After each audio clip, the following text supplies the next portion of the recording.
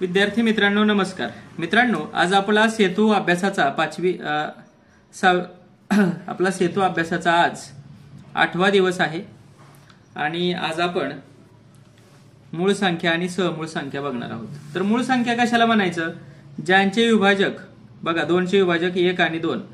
बे एक बे. म्हणजे ती संख्या आणि एक हे दोनच त्याचे विभाजक असतात त्याला मूळ संख्या म्हणायचं. तीन सुद्धा बघा तीन एके तीन आहे फक्त. दोनच विभाजक आहेत. त्याला मूळ संख्या म्हणायचं. आता चारचे विभाजक बघा. एक आणि चार. चार एके चार सोडून दुसरे सुद्धा आहेत. म्हणून याला म्हणायचं संयुक्त संख्या. कळलं? पाच. मूळ संख्या. कारण की फक्त पाच एके पाच. सहा एके सहा सोडून दुसरे सुद्धा दुसरे सुद्धा पाडत आहेत ह्या संख्या. म्हणजे ही सहा ही संख्या संयुक्त संख्या आता पुढचा प्रश्न. अकरा ते तीस पर्यंतच्या मूळ संख्या लिहायच्या. अकरा तेरा सतरा एकोणीस वीस एकवीस नाही तेवीस आणि एकोणतीस. ह्या अकरा ते तीसपर्यंतच्या मूळ संख्या आहेत बरोबर का? पुढे. एक ते पन्नास पर्यंत किती मूळ संख्या आहेत ते शोधून लिहा. आता इथं बघा मी मूळ संख्यांना काठ केलेली आहे. एक ते पन्नास पर्यंत किती मूळ संख्या आहेत ते आपण लिहूया बघा. ह्या मूळ संख्या आहेत कट केलेल्या.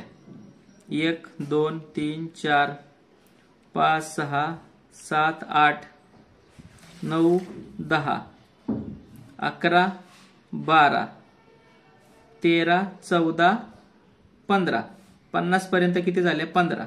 पुढं किती आहेत बघा? एक दोन तीन चार पाच सहा सात आठ नऊ दहा. म्हणजे एक ते पन्नासपर्यंत किती आहेत? पंधरा. आणि त्याच्या पुढं आहेत दहा. बरोबर? एक ते पन्नास पर्यंत किती आहेत? पंधरा. मग आपण लिहायचं. एक ते पन्नास पर्यंत किती मूळ संख्या आहेत? पंधरा संख्या आहेत. पंधरा मूळ संख्या आहेत.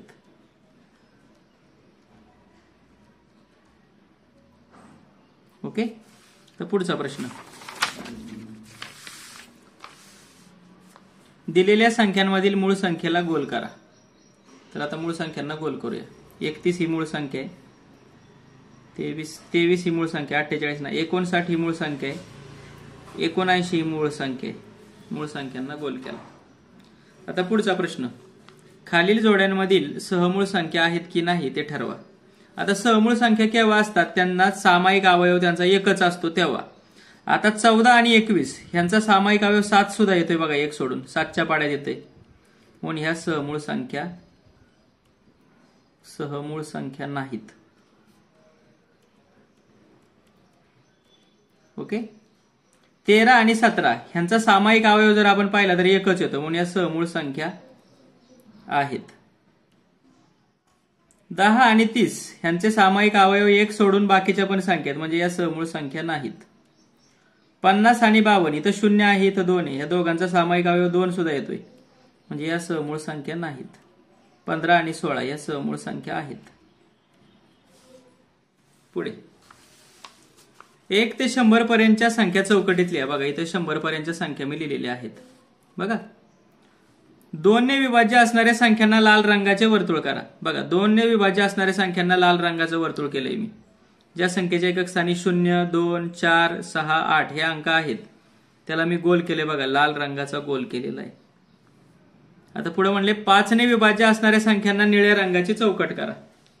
बघा पाचने ज्या विभाज्य संख्या आहेत पाचच्या पटीतल्या. त्याला मी निळ्या रंगाची चौकट केलेली आहे बघा इथं. दिसते निळ्या रंगाची चौकट आहे.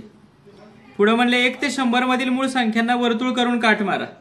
एक ते शंभर मधल्या ज्या मूळ संख्या आहेत त्याला मी बघा असं वर्तुळ केलंय आणि त्याला काठ मारली बघा. दोन तीन पाच सात अकरा तेरा सतरा एकोणीस तेवीस एकोणतीस एकवीस सॉरी एकतीस सदतीस एक्केचाळीस त्रेचाळीस सत्तेचाळीस त्रेपन्न एकोणसाठ एकसष्ट सदुसष्ट एकाहत्तर त्र्याहत्तर एकोणऐंशी त्र्याऐंशी एकोणनव्वद आणि इकडं सत्त्याण्णव.